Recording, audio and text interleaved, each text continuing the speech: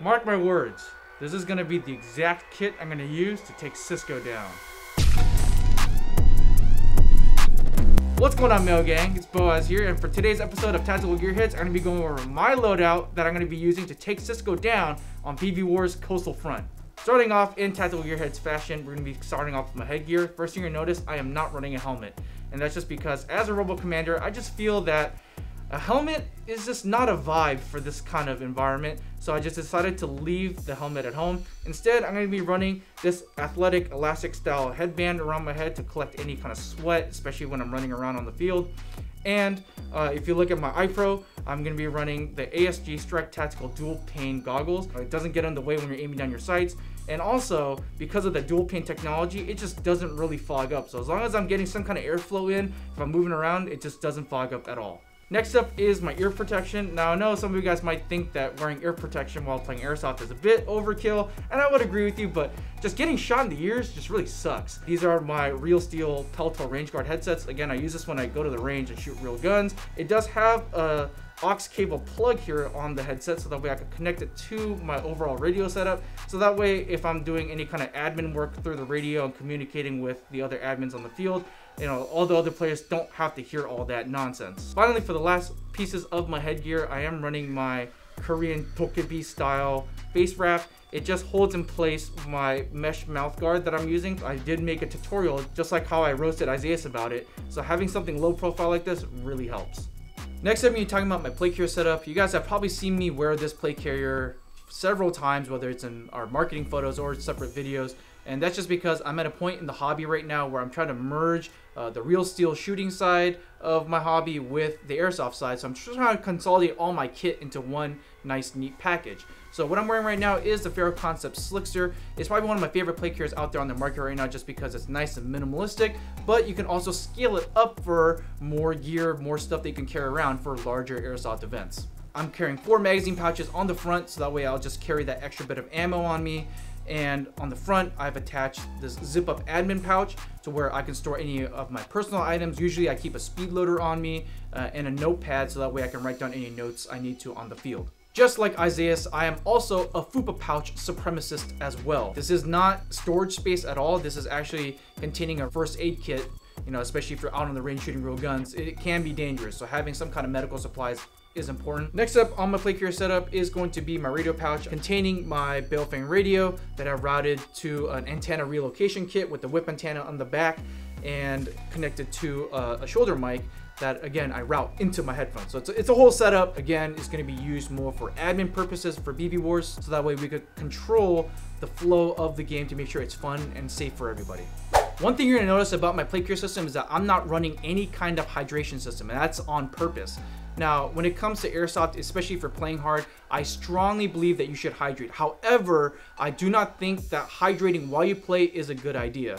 Uh, for me, I cramp a lot if I drink while I run. So I highly recommend for all players, whether you're new or experienced, make sure to hydrate the night or the day before of the event. If you are trying to drink water during the event, it is too late and you're gonna suffer some pretty bad dehydration consequences. The next piece of kit on me is going to be my battle belt setup. This is again a part of my real steel shooting kit that I'm merging with my airsoft kit. So this is the Ronin Tactics shooter belt. This is a pretty expensive belt to get into, honestly. However, I personally think it's really worth it. It's probably the last belt I will ever own. On my belt, I'm gonna have two Lancer Tactical soft shell pistol magazine pouches. I just love these so much just because they're not only affordable, but they do come with the belt mounting clips out of the packaging, which is fantastic. But also, they fit a wide variety of pistol magazines. Next to that, are going to be two HSGI rifle taco magazine pouches. They're just such a timeless rifle pouch. Like you can run any kind of rifle magazine on the taco and it'll fit it no problem. On the rear of my belt, I am running a Visum micro roll-up dump pouch. I just love that pouch so much just because of how compact it rolls up. And also when you do deploy it, it does give you a good amount of dump pouch space. The last two pieces of my battle belt are going to be the Safariland QLS holster system mounted to a Bravo Hi-Capa holster for a TLR1 and glove clips. You can get them for like five bucks on Amazon and they hold your gloves for you. It just makes your life so much easier. On my hands, I'm running the Mechanix 0.5 millimeter gloves. Now these are nice and thin, so I love the dexterity that you get out of it, but it does sacrifice a lot of that protective padding. So getting shot in the hand will suck more than running traditional Mechanix gloves, but I just love the way that they feel and fit in my hands. So I'm definitely aiming for your hands. Why do you have to be this way, man? Like, I, I was gonna try to be courteous to you and shoot you in the body armor where you're protected the most. You're gonna shoot me in the hands. Is that really what it's down to? Hey man, all's fair in love and war. This is not war. We're just playing airsoft, bro. Hey there, B-roll Boaz here. Just want to quickly remind you to please bring a dead rag to the event. It will greatly help you, especially when you are walking off the field when you are dead. I know Isaiah and Lancer Tactical David have not mentioned it, so I'm really hoping that they see this and bring a dead rag, because you guys will probably really want one. Alright, let's talk about the gun I'm going to be using. The primary that I'm going to be running at BB Wars Coastal Front is going to be the KWA EVE 9. Now, full disclosure, KWA has sent this gun over to me. They were very generous in doing so, and I gave it the Boaz treatment. I swapped this out with a KWA EVE 4 PDW stock instead. I just love the way it looks. Moving towards the front here, I do have a Lancer Tactical Mock Suppressor and it is running a longer unicorn inner barrel so that way I can get out to distance and shoot people from farther away accurately, specifically Cisco because I know he's going to be hiding somewhere. Up front, I do have an Osman 800 lumen flashlight. It does get the job done and I like how it does come with the pressure switch out of the box, which is great. It's mounted to uh, a Thorntail style mount just to push the flashlight a bit more forward so you don't get as much of a mock suppressor shadow on it when you're using the light. And on the top, I have the very new, very tasty FMA NGAL laser. Now, it doesn't really serve much of a function outside of looks. I just think it looks absolutely sick. It just gives it a little bit more of a milsim look and feel. Next thing on the gun is going to be the KWA original vertical foregrip that they give you out of the box. And I went ahead and chopped it down well, a little bit over halfway.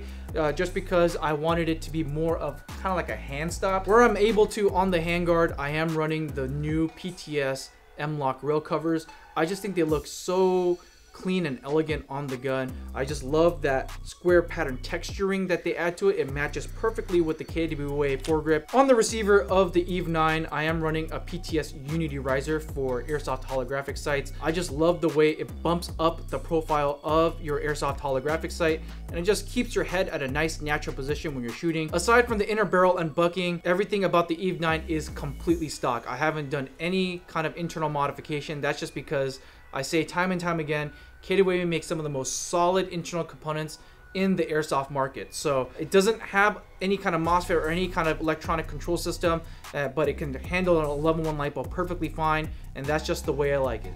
Bro, you are such a shill. Hey man, are you telling me you don't unironically love KWA? I mean, I do, but dang. Hey, come here. How, how, how else am I gonna get free KWA stuff? True. Based on the choice of holster I have made for my battle belt, you're probably already guessing what kind of secondary I'm going to be running at BB Wars, and that's going to be the Army Armament 612M Hi-Capa.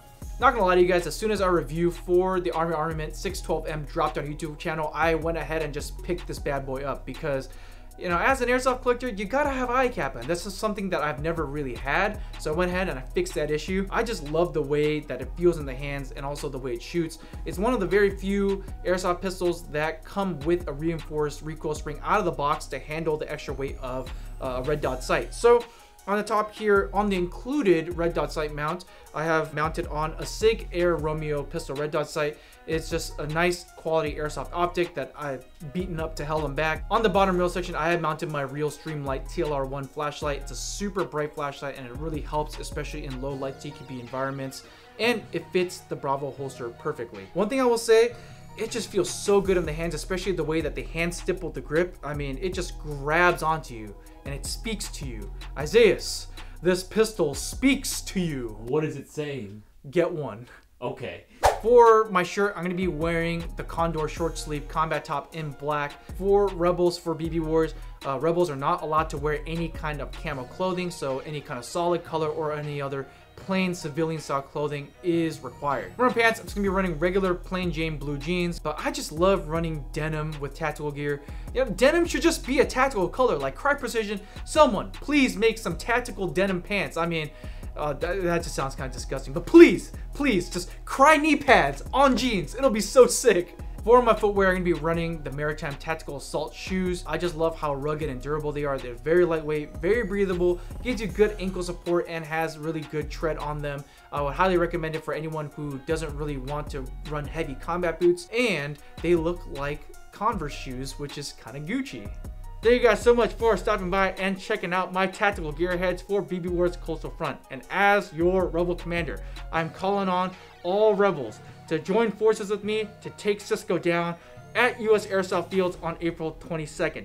If you are interested in BB Wars but haven't gotten your ticket yet, please make sure to do so as soon as possible because they are selling out fast. And hopefully in the near future, we'll be able to host more BB Wars events in California because I know a lot of you guys have been asking for that for a while now. But if you like what you see, please make sure to hit the subscribe button as well as the bell icon to get notified of every time we upload a new video. If you'd like to help keep the lights on and that camera rolling, please make sure to stop by Airsoft GI for all your airsoft needs. This is Boaz, and we'll see you out on the field.